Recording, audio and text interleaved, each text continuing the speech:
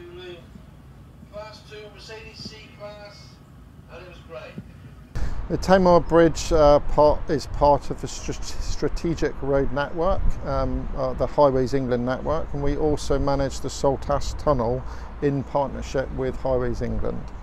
We have around about 25,000 vehicles in each direction, so well, just, just less than 50,000 vehicles a day across the structure.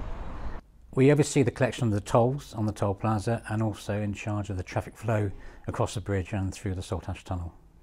The control room assistant predominantly is here to support the supervisor, but generally we are mostly looking over the, after the toll plaza and the collectors. Out of hours, we field um, credit card call, calls, taking payment for when customer services aren't here. During the day, we don't have to deal with that. Um, as far as the plaza is concerned, we deal with things when, say, for argument's sake, the system isn't working properly, the barrier doesn't go up for one reason or other, or indeed it doesn't come down and some certain parts need cleaning.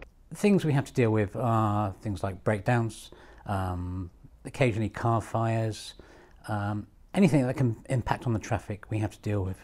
We keep an eye out for anything that happening on the bridge or indeed on the cantilevers that shouldn't be happening.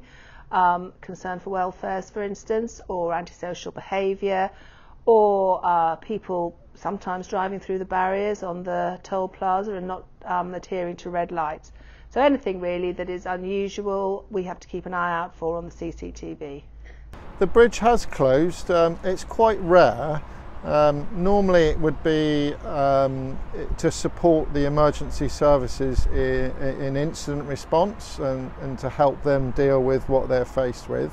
We also always have to monitor the environmental effects, such as high winds and, and ice. Um, uh, that's something that the, the bridge operations control room are also doing. We've also been closed for such um, high profile events as the Olympic torch as well back in 2012. In the control room, uh, it's an operational control room with uh, latest generation technology, CCTV, and all these tools are to help my team uh, monitor what we call the tidal flow system and to provide a safe, uh, reliable and sustainable crossing.